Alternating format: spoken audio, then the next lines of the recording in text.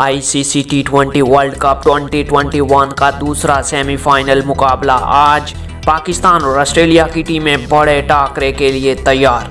क्या wicket keeper, बल्लेबाज मोहम्मद रिजवान और सीनियर ऑलराउंडर शुएब मलिक आज का बड़ा मुकाबला खेलेंगे या नहीं, फैसला हो गया। ऑस्ट्रेलिया के खिलाफ टाकरे के लिए पाकिस्तान के 11 खिलाड़ी फाइनल। मुकम्मल अपडेट्स के लिए लाइक के बटन को प्रेस करके कमेंट्स में अपनी फेवरेट टीम का नाम ज़रूर लिखिएगा। तफसीत के मुताबिक I C C T twenty world cup के पहले सेमीफाइनल मुकाबले में न्यूजीलैंड इंग्लैंड को पाँच विकेटों से शिकस्त देकर फाइनल के लिए क्वालिफाई कर लिया है। जबकि दूसरा सेमीफाइनल मुकाबला आज पाकिस्तान और ऑस्ट्रेलिया के दरमियान शाम सात बजे दुबई के इंटरनेशनल स्टेडियम में शुरू होने जा रहा है। गुजशत रोज़ पाकिस्तानी कैंप से शोएब मलिक और मोहम्मद रिजवान की बुखार में मुबतला होने की खबरें गर्दिश में थीं, जिसके बायस उनकी सेमीफाइनल में शमूलियत पर सवालिया निशान लग गया था। मैनेजमेंट ने मुतबादल के तौर पर सरफराज अहमद और हैदर अली को तैयार रहने का भी कह दिया था।